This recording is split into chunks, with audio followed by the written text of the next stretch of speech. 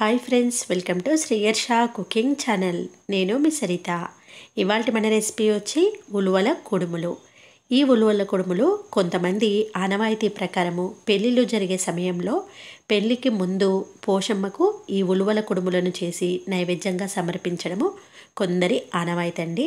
మరి ఈ ఉలువల కుడుములు ఎంతమందికి తెలుసో కూడా నాకు కమెంట్ సెక్షన్లో షేర్ చేయండి. అయితే పెళ్ళిళ్ళ సమయంలో కాకుండా మనకి ఎప్పుడైనా ఈ ఉలువల కుడుములు తినాలనుకున్నప్పుడు కూడా మధ్యలో మధ్యలో చేసుకొని తినొచ్చు. ఆరోగ్యానికి కూడా చాలా మంచిదండి. ఉలువలు తినడం వలన శరీరంలో ఉన్న బ్యాడ్ కొలెస్ట్రాల్ అనేది చాలా మట్టుకు కరిగిపోతుంది. మరి ఆలస్యం చేయకుండా పాతకాలం పద్ధతిలో ఈ ఉలువల కుడుములను ఎలా చేస్తారో ఆ ప్రాసెస్ ఏంటో ఇప్పుడు చూసేద్దాం. పదండి. ఉలువల కుడుములు చేయడానికి అప్రాక్సిమేట్లీ ఒక వన్ ఫిఫ్టీ గ్రామ్స్ ఉలువలను తీసుకొని ఒక చిన్న బౌల్లో వేసుకోవాలి. తర్వాత ఒక పెద్ద బౌల్లో వాటర్ని తీసుకొని ఈ విధంగా ఉలువల్లో ఏమైనా సన్న ఇసుక అలాంటిది ఉంటే కంప్లీట్గా సపరేట్ అయిపోవడానికి ఇలా గాలించుకోవాలి. ఇలా పాత పద్ధతిలో ఉలువలను గాలించుకోవడం వల్ల ఏ చిన్న ఇసుక ఉన్నా కంప్లీట్గా సపరేట్ అయిపోతుంది.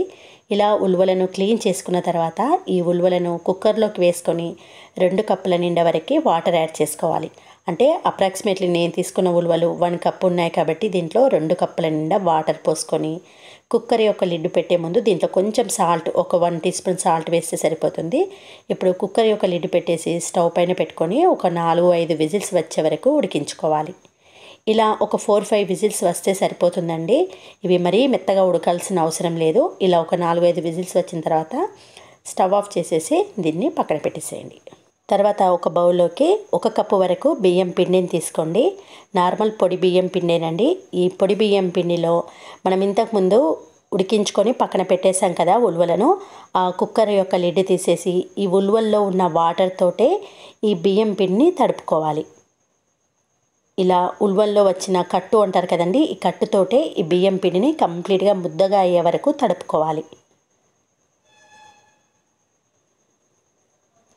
ఇలా బియ్యం పిండిలో పట్టినన్ని ఉలువల పైన వచ్చిన కట్టుతో ఇలా పిండిని మనము చపాతీ పిండి ఎలా ముద్దగా సాఫ్ట్గా తడుపుకుంటామో అలాగే తడిపేసుకోండి. తర్వాత ఇలా పిండి ముద్దగా సాఫ్ట్గా తయారు చేసిన తర్వాత చిన్న చిన్న బౌల్ షేప్లో కొన్ని చిన్న చిన్న అప్పాల షేప్లో కొన్ని ఇలా ట్రెడిషనల్ పద్ధతిలో చేసుకోవాలి. ఇలా నైవేద్యం చేయడానికి ఈ కుడుములను చేస్తే ఇదే ప్రాసెస్లో చేస్తారండి పెద్దవారు. ఇలా కొన్ని గిన్నె షేప్లో కొన్నేమో మనం రౌండ్గా చిన్న అప్పాల మాదిరిగా చేసుకోవాలి. ఈ ఉలువల కుడుములు ఎంతమందికి తెలుసో నా కమెంట్ సెక్షన్లో షేర్ చేయండి.